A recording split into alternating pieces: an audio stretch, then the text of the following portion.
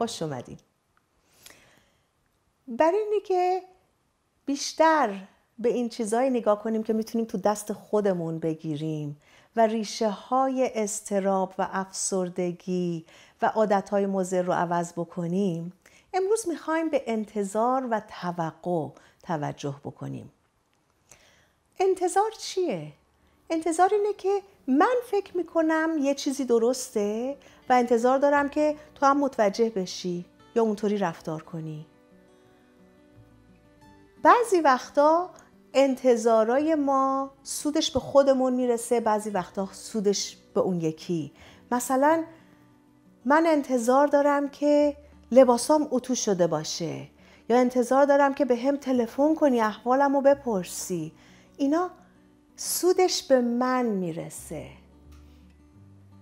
ولی بعضی وقتا انتظاره برای توه. انتظار دارم درس تو بخونی. انتظار دارم صبح به موقع بیدارشی برای اینکه زندگیت خوب بشه بتونی به کارات برسی و و اینا مثاله. الان شما دو مورد در نظر بیارید تو زندگی خودتون. یک انتظاری که یک کسی ازتون داره که یک بار سنگینه خستتون می‌کنه. و یه انتظاری که یه کسی ازتون داشته تو زندگی که بهتون شوق و اشتیاق داده بوده برای رسیدن به یه چیزی. حتی ممکنه شما اصلا هیچ وقت متوجه نشده باشین که این شخص از شما انتظاری داشته. ولی الان وقتی که فکر می‌کنید می‌بینید وجود این شخص موجب اعتماد به نفس شد. پس این دو مورد و دو مورد خیلی بخصوص رو به نظر بیارید یه انتظاری که بار سنگینه خسته می‌کنه. آدم می‌خواد از زیرش در بره. و یه انتظاری که اعتماد به نفس میده پر و بال میده و بیایید اسم بذاریم روی این دو نوع یکیش انتظار توقع اون یکیش اسمشو بذاریم آرزو و اشتیاق فرق بین این دوتا چیه؟ قضاوته قضاوت چیه؟ قضاوت اینه که من ضعف تو رو می‌بینم. کوتاهی تو رو می‌بینم. متوجه هستم که از پس چی داری بر نمیای من می‌دونم چی درسته و چی غلطه و دارم قضاوت می‌کنم. قضاوت از چی میاد؟ از قاضی. یعنی من قاضی شدم دیگه. درسته؟ ولی قاضی اصولا متاسفانه چیزای منفی. متوجه ضعفت شدم. حالا اگر انتظار و توقع اینجور بار سنگینه اینجور نفس آدم رو می‌گیره اینجور آدم رو خسته و ناتوان می‌کنه پس وقتی که من از تو انتظار دارم دارم چیکار می‌کنم؟ دارم یک موقعیتی پیش میارم که یه چیزی می‌خوام که اصلا امکان نداره که بهش برسی به خاطر اینه که یه چیزی می‌خوام و از اون طرف هم دارم تمام توانایی و زور و قدرت تو ازت می‌گیرم با اون قضاوت. پس در واقع دارم یه موقعیتی پیش میارم که خودم رو معیوس کنم. یه چیزی می‌خوام که اصلا نمی‌ذارم که حتی بهش برسی با اون سنگینی بارش. و وقتی که من معیوس میشم چی میشه؟ ناراحت شدم حالا. توی هفته پیش یادتونه راجع به دوستی که صحبت می‌کردیم؟ راجع به ناراحتی صحبت کردیم چطوری؟ ناراحتی تمام امکانات اینی که من بتونم توی اون خصائص زیبای انسانیم وایسم ازم می‌گیره.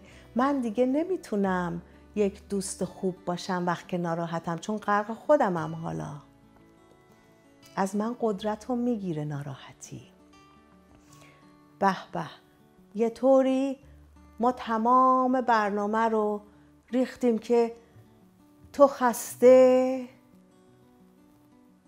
من معیوس هر دومون ناتوان. اگر ما دلمون می‌خواد برای عزیزانمون آرزو و اشتیاق داشته باشیم. که وقتی که در آینده نگاه می‌کنن به موفقیتاشون تو قلبشون فکر کنن شما بهشون یه چیزی تو قلبتون بود که بهشون پر و بال داد. اگر می‌خوایم اون نقش رو داشته باشیم توی زندگی عزیزانمون باید شروع کنیم به طرف دیده خطاپوش حرکت کنیم. دیده خطاپوش یه چیزی نیستش که یه روزه و دو روزه آدم بهش برسه. یه چیزیه که آدم به طرفش حرکت می‌کنه آدم میسازتش آدم پرورشش میده. بیایید با همدیگه یک تمرکز و یه تمرین کوتاه بکنیم. کف پاتون رو بذارید زمین. دستاتون رو باز کنید. ستون فقرات صاف و آهسته توجهتون رو بیارید رو نفستون و چشماتون رو ببندید. متوجه ریتم نفستون بشید. عمق نفستون.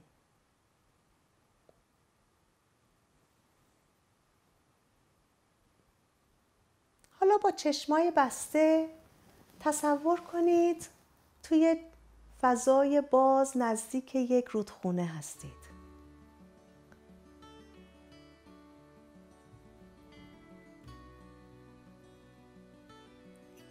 این فضا رو ببینید.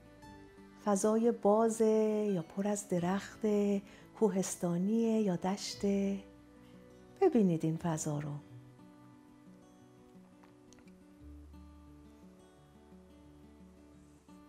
نور اینجا چطوری؟ آفتابیه؟ ابریه؟ چه موقعی از روزه؟ با چشمای بسته ادامه بدید.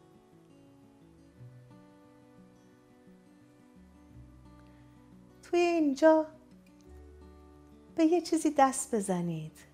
به یه برگی به یه سنگی. احساسش تو دست چطوریه؟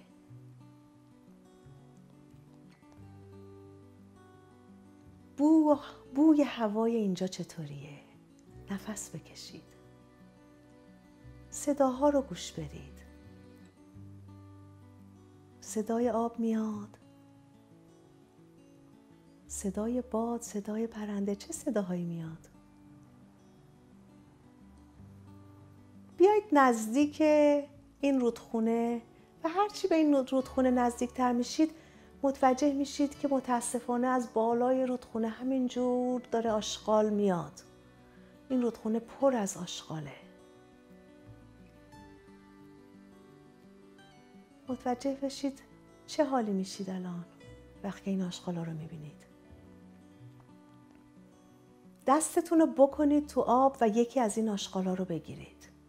نشون کنید یکیشو بگیریدش.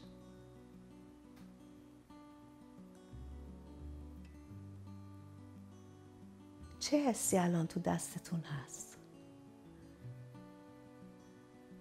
تو سینتون چه حسی هست؟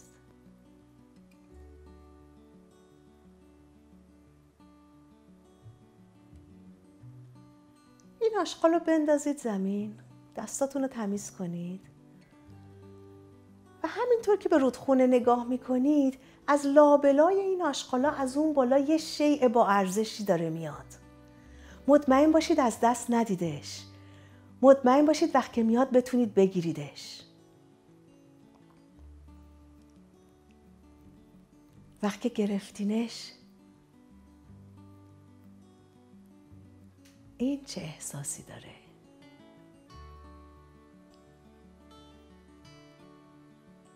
الان تو سینه چی داره میگذره؟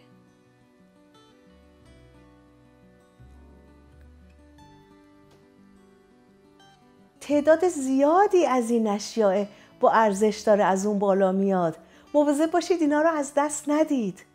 برید جلو دونه دونه همه رو بتونید بگیرید.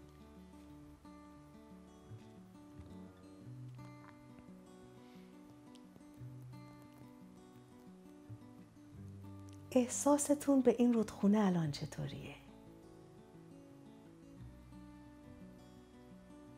احساس تو سینه خودتون چطوریه؟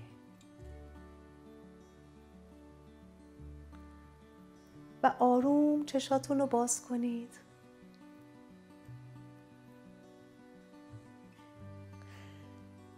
دیده خطاپوش این نیستش که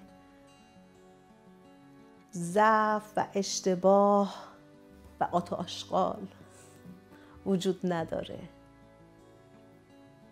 همه اینا وجود داره. دیده خطاپوش اینه که من انتخاب می‌کنم چی رو ببینم چی رو بگیرم.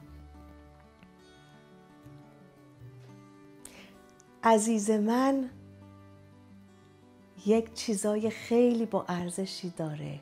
اونا رو ببینم اونا رو بگیرم.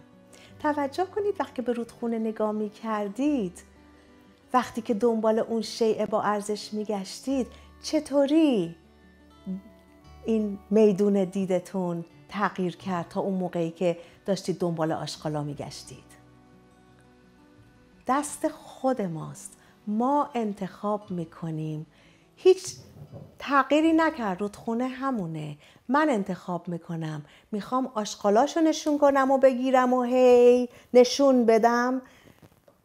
یا سب می‌کنم. دونه دونه اون اشیاء با ارزش رو دریافت می‌کنم. با امید دیدار هفته دیگه میبینمتون.